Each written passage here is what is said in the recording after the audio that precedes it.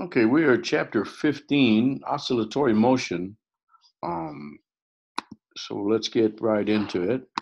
Uh, here they show a, a grandfather clock and the pendulum swing of the um, the weight um, is a example of oscillatory motion.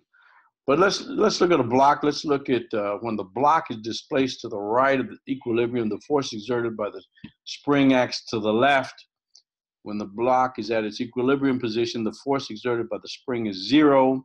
When the block is displaced to the left of equilibrium, the force exerted by the spring acts to the right. We should all recognize this as Hooke's law. The force of the spring is equal to minus kx because the force is opposite the minus comes from the force being opposite the uh, uh, direction of x. So in other words, if you pull x in this way, the force is in the opposite direction. If you push the spring in this direction, the force is in the opposite uh, direction. So uh, along the x direction, force is equal to mass times acceleration.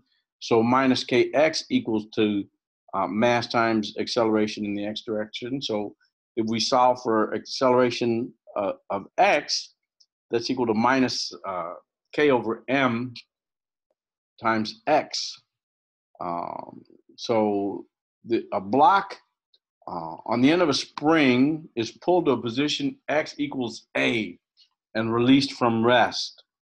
In one, in one full cycle of its motion, through what total distance does it travel?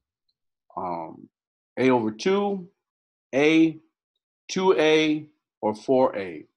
So let's think about it. Let's say this is your equilibrium position you pull a direction A and you release it. So it's going to travel A, it's going to travel A in this side, travel back A, and then A again.